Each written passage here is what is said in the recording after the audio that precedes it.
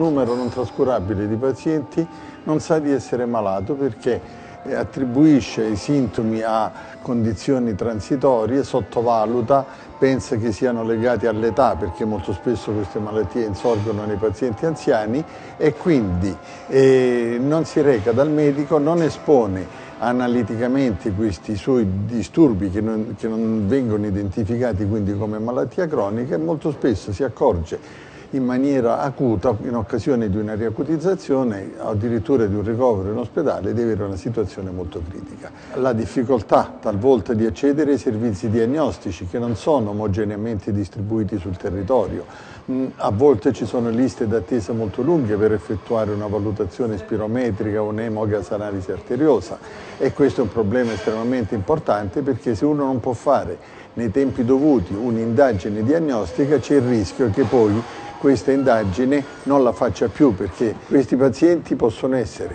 se seguiti a domicilio,